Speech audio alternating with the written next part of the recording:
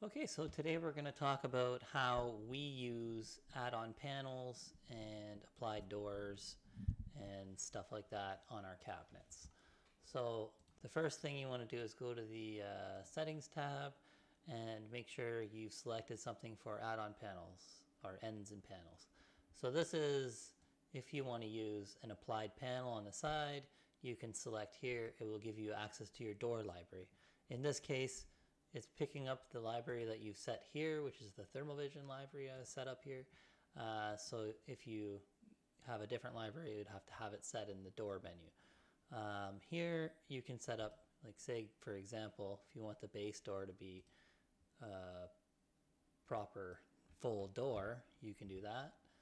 Uh, this is where you set it. So I'm just going to leave that default for now because I'm just mostly worried about uh, how to set the add-on panels and the overlays and stuff like that.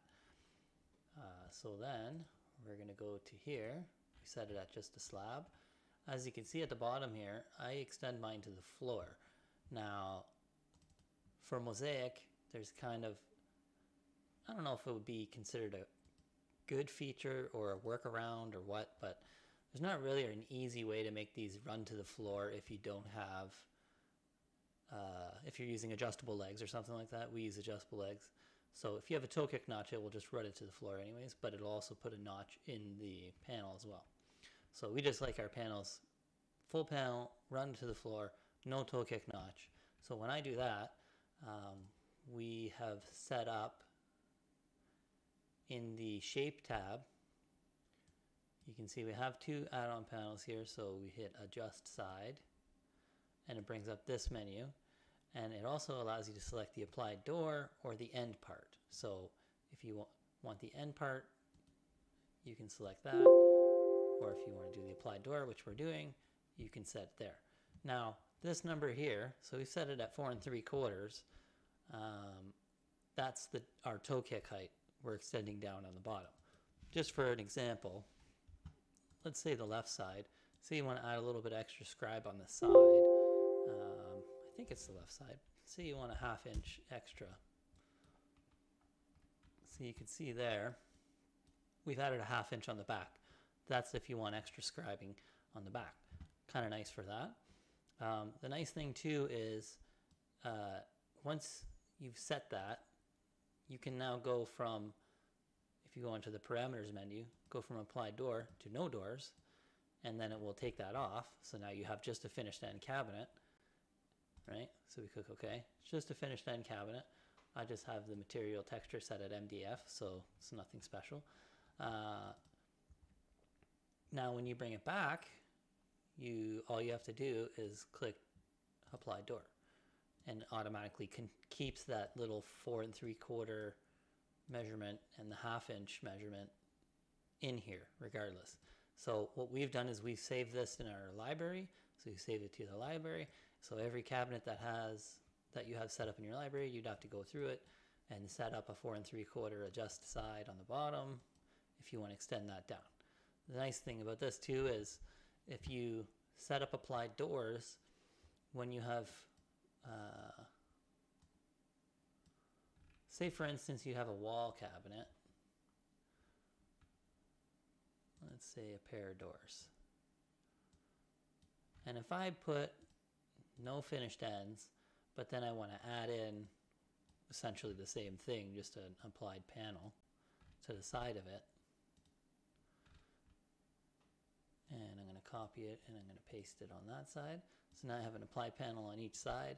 If I run the crown like that, the automatic molding, we go into the molding tab and we hit automatic mold, it's going to run the crown and it's going to look correct. Oh, I set this as a wall cabinet. That's why it's getting Crown. Um, so if we, but the issue is, well, I'll show you. It's not flush to the door. It's recessed back. It's making it the same mm-hmm. depth as the case. So what you're trying, what you'd like to do is you'd like to make it, go back to the products tab. I'd like to make it three quarters deeper so it's flush to the door. And you can also do formulas in here too, which is nice.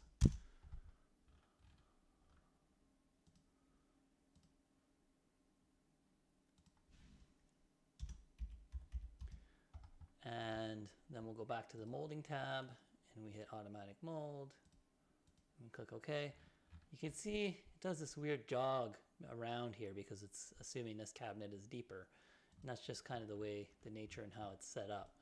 But if you use the integrated applied panel, which again is all pretty much the same thing, we delete this. Oh, products tab. Delete that, delete that. You may see this if you have a fridge upper and you have a partition on the side of it. Your crown looks wonky. Um, so we have this, we have finished ends on both. Still does the same thing, flush to the door. And if you go to the automatic mold, Mozaik for some reason can tell the difference that that is a add-on panel and to make the crown correctly.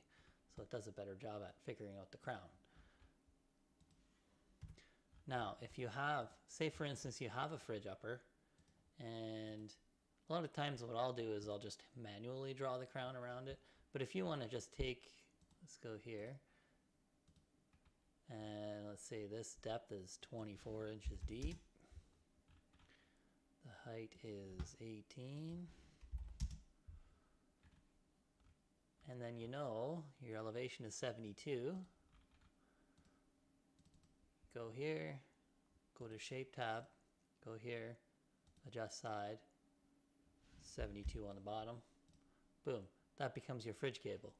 The nice thing about that again is now you've got um, you've got this panel set up here. And again you can save this to your library.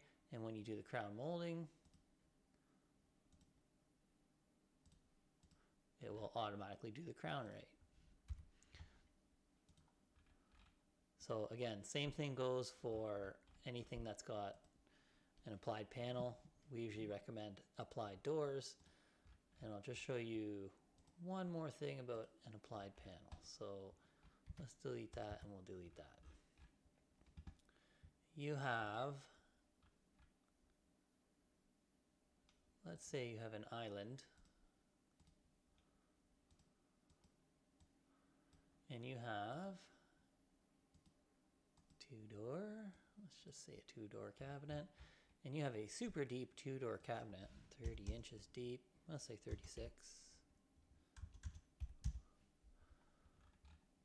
And you want to change this to an applied panel. I'm going to show you two things you can do. So shape, or applied door I should say. Go to the shape tab, you go to section, and you select a different door style. I want this to match the doors, so I'm going to select this. Okay, and then you may select the center well, we'll just click OK at this point so you can see the difference. Now you've got a big door on the side. We're going to go back to section. Here you can split it. You can split it vertically, which is probably going to be the more likely thing. Split it vertically. Now you have a center partition there. Okay. The third thing you can do is we're going to select a traditional door, not a mitered door. So let's say this one, for example. We're just going to use defaults. Uh, you want to do down here, I want to do six inches wide because that's a nice way to handle around an island. And I want to add a center partition. And I want to make this three inches. You can do it here too. Three, three, three, three. Gives it a bit more. And it's a little bit nicer for if you have a baseboard coming into it, you can add a little height to your bottom panel to bring the baseboard into it cleanly. All right, so a few different ways to do add-on panels and apply doors with frameless cabinets. Now the parameters for this, let's just show you. Our ends, we have set this parameter to apply doors flush at face uh, sorry, applied doors. This one flush at face. The other option is to put it in in at the case depth. Uh, so those two need to be set. Uh, and I think that's about it. Oh, you can go to the doors tab and you can go to applied uh, frameless reveal unfinished end. What's what this is going to do is it's going to give you an extra little bit where you have an applied end like that. Because if you just have a 16th there uh, and you have an applied end on both sides, you could be running a little bit tight. So you can add make it. We make it jump to an eighth gap on the side there. Uh, then you have that, and then applied door width adjustment.